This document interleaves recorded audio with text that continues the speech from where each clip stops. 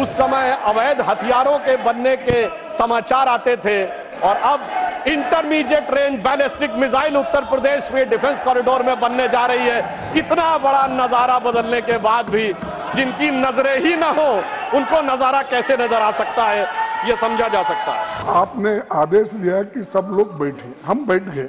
फिर in spite of that if they are not honouring सब बैठे भी नहीं तो सिर्फ़ अपना भाषण चलाते ही रहे। कौन सुनने वाला है आपका भाषण? हम तो नहीं सुन रहे। मैं बिल्कुल आपको नियम भी बताऊँगी sir and I am also member of parliament and I have been given this right sir to raise a point of order सभापति महोदय मैं उत्तर प्रदेश का रहने वाला हूँ। वहाँ ब्रह्मोस मिसाइल का कोई पार्ट बने कोई कंपोनेंट बने ये अपने आप में कितने बड़े गर्व का विषय है मुझे याद है कि हमारी सरकार मोदी जी की सरकार आने से पहले उत्तर प्रदेश की छवि क्या बना के रखी गई थी? सिनेमा क्या बनता था उत्तर प्रदेश पे? जिला गाजियाबाद, लखनऊ सेंट्रल तो सीरीज़ बनती थी मिर्जापुर। तो ओंकारा में मेरठ की गैंगवार तो बाबर फ़िल्म में कानपुर की गैंगवार। तो कंपनी फ़िल्म में दिखाया जाता था कि जैसे कि मुंबई का सारा जो माफिया है, वो पूर्वी उत्तर प्रदेश से आ रहा है। आप सोचिए, उस समय अवैध हथियारों के बनने के समाचार आते थे। और अब intermediate range ballistic missile Uttar Pradesh में डिफेंस कॉरिडोर में बनने जा रही है। इतना बड़ा नज़ारा बदलने के बाद भी जिनकी नज़रें ही ना हो, उनको नज़ारा कैसे नज़र आ सकता है, ये समझा जा सकता है।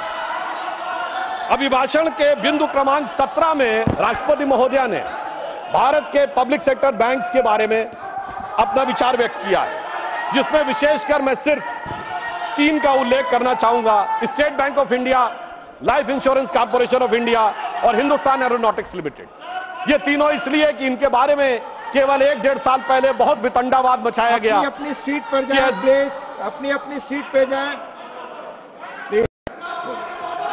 मात्र एक डेढ़ साल पहले बहुत वितंडावाद मचाया गया कि एसबीआई डूब रहा है एलआईसी डूब रहा है और पब्लिक सेक्टर बैंक्स नीचे जा रहे हैं। राष्ट्रपति महोदया ने बताया कि इस साल पब्लिक सेक्टर बैंक्स ने एक लाख चालीस हज़ार करोड़ रुपए का मुनाफा कमाया है जो आज तक कभी नहीं हुआ था। पिछले क्वार्टर में स्टेट बैंक ऑफ़ इंडिया का मुनाफा केवल एक तिमाही का इक्कीस हज़ार करोड़ रुपए है, जो प्राइवेट और पब्लिक सेक्टर सारी कंपनियों में मिला के सबसे ज़्यादा है। पहली बार एसबीआई ने रिलायंस से भी ज़्यादा मुनाफा कमा के दिखाया है। एलआईसी का पिछले क्वार्टर का मुनाफा उन्नीस हज़ार करोड़ रुपए है, जो एलआईसी का ऑल टाइम हाई है। और मैं ये भी बताना चाहता हूँ कि हिंदुस्तान एरोनॉटिक्स लिमिटेड माननीय एलओपी कुछ बोलना चाहते please please sir point of order raise करने के लिए भी हम सरकार से इतना पूछना पड़ता है तो ये बहुत ही अनडेमोक्रेटिक सिस्टम है। मैं आपसे विनंती करता हूँ Priyanka Chaturvedi point of order raise की। अब आपने आदेश दिया कि सब लोग बैठे हम बैठ गए। फिर in spite of that if they are not honouring सब बैठे भी नहीं तो सिर्फ़ अपना भाषण चलाते ही रहे। कौन सुनने वाला है आपका भाषण? हम तो नहीं सुन रहे। माननीय माननीय please please please please please आप प्लीज़ प्लीज़ माननीय मान प्लीज़ प्लीज़ सर देखिए सर। आप आप मैंने आग्रह किया सभी लोग अपनी सीट पर जाएँ जब तक नहीं गए थे आपने कहा मैं मौका दे रहा हूँ। प्लीज़ प्लीज़ माननीय एलओपी को बोलने दे पॉइंट ऑफ़ रेजर किए हैं। आप बैठे। पॉइंट ऑफ़ ऑर्डर जो भी है। जब बाहर लोग थे यू अलाउ नहीं थे, देम मैंने कहा अलाउ ही हैज़ टू हाँ अलाउ ही हैज़ टू नहीं। पॉइंट ऑफ़ ऑर्डर उठाना चाहती है प्रियंका जी आप सहमत हैं? Point of order Priyanka ji point of order आप तय करिए पॉइंट ऑफ़ ऑर्डर हाँ Priyanka ji. Chairman sir right now please sir why should he किस नियम के तहत कौन सा?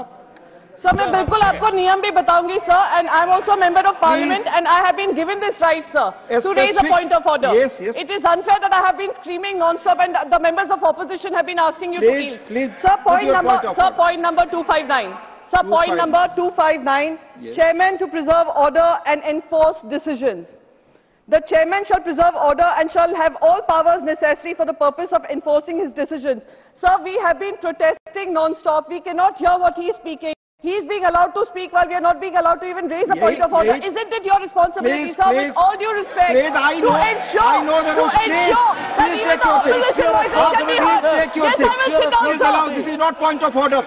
This is not point of order. Please.